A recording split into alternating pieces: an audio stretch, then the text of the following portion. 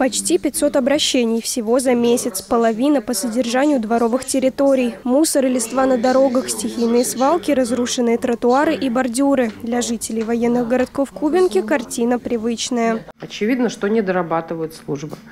Контейнерные площадки тоже в ужасающем состоянии. Идет перепалка, то это управляющая компания, то это МБУ. МБУ говорит, просим управляющую компанию. Компания управляющая говорит, что мы, а мы просим другое. Ну, в общем, между собой никто не может договориться. Вопрос наболевший, а причина на поверхности. Земли находятся в собственности Министерства обороны, хотя муниципальные службы порядок все же стараются поддерживать. Нужно больше техники, больше финансирования, больше людей. Местная администрация уже запрашивает для более качественной уборки 7 единиц техники. Мини-погрузчики, тракторы и самосвалы. Количество рабочих тоже нужно увеличить с 70 до 100 человек минимум. Если не получается там что-то защитить, и идет какая-то бюрократическая там э, проволочка в этой части, тогда мы сами думаем, где взять 30 э, э, значит, людей рабочих, где их размещать, сколько им платить, откуда платить. Среди волнующих вопросов – капитальный ремонт Акуловской школы. Модернизация в рамках президентской программы должна была быть уже в процессе, однако перенеслась на 25 год.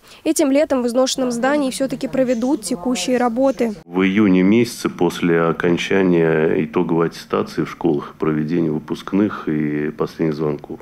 В принципе, два месяца нам на легкую косметику будет достаточно. Установили скамейки, нанесли на памятный камень схемы боевых действий. Благоустройство воинского мемориала Вакулова завершено. За бережную реставрацию жители благодарят и уже наметили дату открытия. Этот памятник открыть уже в окончательном виде 22 июня, Дню памяти и скорби, где будет много приедет людей – со всех городов, даже с Питера, с Москвы три автобуса планируется и так далее. Ямочный ремонт, строительство двух эстакад, установка мачт освещения тоже обсуждались на встрече. Сроки исполнения задач поставлены, ответственные назначены. Алиса Лукина, Артем Ломоносов, телекомпания «Одинцова».